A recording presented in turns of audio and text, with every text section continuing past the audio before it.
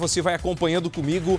Os bombeiros apagaram fogo. A imagem que você viu agora há pouco, segundos antes, era gravada pelo helicóptero da Record TV e agora a imagem ao vivo que mostra a situação controlada, mas o carro ficou completamente destruído. Ainda há um fogo na parte da frente ali no motor, mas né, tudo está controlado segundo as informações passadas pelo nosso Hamilton, que está sobrevoando, acompanhando de perto. An, este fogo, este carro que ficou completamente destruído afeta pelo menos o trânsito na marginal nesse momento ou está tranquila a situação com relação à movimentação desses carros?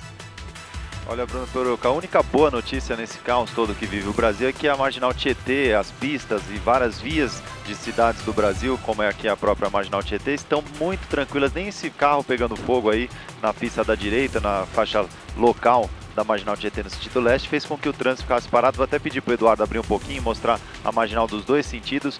Todo o trecho da Marginal Tietê e Marginal Pinheiros tem o trânsito desse jeito que você vê do lado direito do vídeo. Praticamente sem carro, realmente as pessoas não conseguem combustível, então não conseguem seguir para o seu trabalho. E a situação também não é muito diferente do transporte público, viu Bruno? Eu vou te mostrar uma garagem aqui ao lado da Marginal Tietê que geralmente é, esse horário era por os ônibus estarem nas ruas, praticamente vazia. Olha só a situação, tem muito ônibus aí na garagem, provavelmente porque estão circulando aí com, é, com é, capacidade reduzida, viu, Bruno?